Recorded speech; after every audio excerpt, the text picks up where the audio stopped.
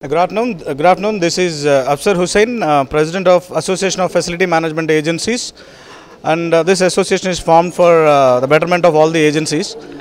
Now, the current scenario, the reason behind uh, coming and uh, speaking over few words is GST. You know, recently there is a call from government. The GST need to be paid uh, at the rate of 18 percent on the services and all.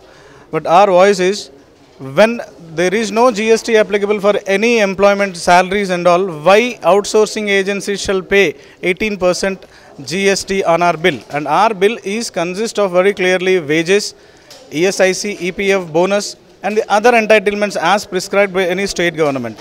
And what we request, either the request, we are requesting that either you impose GST directly to the principal employer, you ask them to pay directly, or you impose the same GST on our service charges. That is what our request, and we have started this uh, movement way back.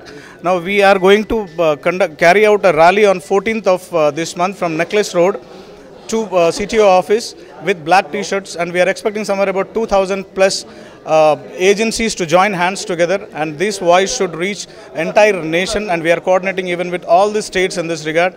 Let us hope that uh, the uh, no gst may not leads to uh, reducing the employment of the poor people.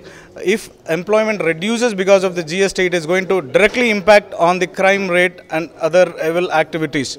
So we request strongly to the government to hear our voice against this GST and reduce uh, reduce to uh, the service charges or directly impose on the client's part. As of now, we are conducting uh, AP and AP and Telangana agencies are coming to Hyderabad on the 14th, uh, Friday, from Necklace Road.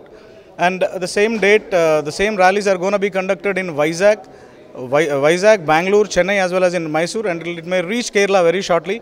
Uh, once we have joined together uh, all the hands of southern region, then we will go to the north, and this it will not take longer time when our voice reach uh, to the nation and to the prime minister. Uh, we are expecting somewhere about 2,000 with black T-shirts.